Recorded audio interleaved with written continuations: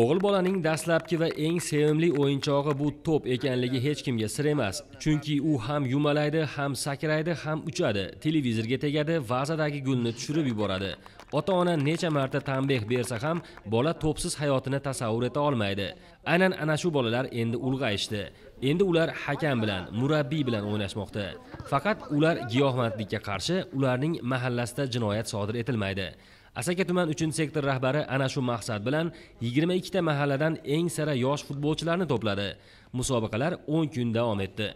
Asaka tuman ichki ishlar bo'limi 3 sektor rahbari tashabbusi bilan 22 ta mahallada uyushmagan yoshlar o'rtasida futbolning sport turi bo'yicha musobaqa o'tkazilyapti. Bundan asosiy maqsad yoshlarimizni jinoyatchilik va huquqbuzarlik barvaqt oldini olish. Turli xil yovuz yot g'oyalarga qo'shilib qolmaslik oldini olish bo'yicha yoshlarimiz o'rtasida musobaqalar o'tkazilyapti. Undan e, asosiy maqsad sog'lom turmush tarzini targ'ib qilib va yoshlarimizni bandligini ta'minlash. Bu yigitlarning qanchasi futbolchi bo'lib yetishadi noma'lum lekin aynan mana shunday musobaqalar katta futbolga yo'l ochishi ham mumkin. Sababi ular ketma ket jiddiy o'yinlar kiritilgan gollardan keyingi quvonch o'tkazib yuborilsa alamni his qilishadi. Har biri so'nggi soniyalargacha kurashishni o'rganadi.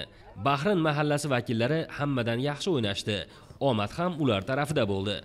Bugungi o'tkazilgan bu musobaqadan e, ko'p o'rtoqlar do'stlar orttirdik. Hammamiz sog'lom turmush tarziga amal qilgan holda sport bilan shug'ullanyapmiz. E, shunday musobaqalarni tashkillashtirib bergan ichki ishlar xodimlariga hokimiyat tomonidan tashkillashtirgan mana shunday musobaqalarga minnatdorchilik bildiramiz. E, biz yoshlar kelajakda sog'lom turmush tarziga amal qilib bundanda yaxshiroq marralarga erishishga va'da beramiz. Bunday sport musobaqalarini tashkil qilishdan maqsad avvalo ommaviy sport bilan shug'ullanuvchi qatlamni oshirish va har bir fuqaroni sog'lom turmush tarziga jalb qilishdan iborat.